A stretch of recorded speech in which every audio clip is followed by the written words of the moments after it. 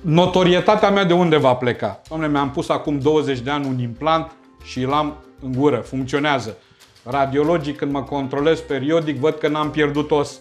Este clar că acolo s-a făcut ceea ce trebuie, dar pe partea asta am de-a face și cu un pacient disciplinat, care nu fumează, care menține o igienă orală corectă, care se prezintă periodic, nu doar pentru igienizarea profesională, pentru verificarea ocluziei, a mușcăturii.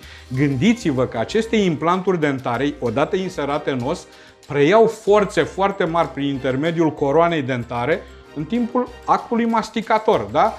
Dacă am ceva care în permanență se află sub stres mecanic, deci supus uzurii, nu este normal să-l controlez periodic și să văd dacă lucrurile stau bine?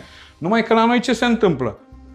Am căutat cel mai ieftin, mi-am pus, după care dispar. Așa, cu ani nu mai trec pe la dentist. Când apare o problemă, alo, stai așa, cine? Poate nu mai găsesc dentistul ăla. De ce nu-l mai găsesc? Dentistul ăla care mi-a pus un implant ieftin, a cumpărat ceva ieftin, a avut un onorariu foarte mic și, unu, nu s-a putut dezvolta profesional treaptă cu treaptă, pentru că, atenție, dezvoltarea profesională, educația profesională implică cursuri, manuale foarte scumpe. El nu a avut un adaos suficient în onorariu ca să se dezvolte profesional. Doi, de multe ori și-a închis și cabinetul. De ce? Funcționăm după principiile economiei de piață, SRL-uri.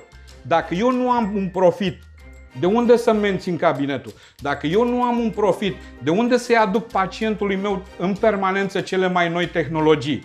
Dacă eu nu mă duc în permanență să mă educ profesional, de unde să-i aduc cele mai noi cunoștințe în medicina dentară și să îi le aplic? Deci este un cer vicios. Ori de câte ori încurajăm dumpingul în implantologie, încurajăm involuția. Și nu putem avea pretenții la tratamente la nivelul celor de afară sau la nivelul uh, centrelor de top, plătim puțin. Nu există.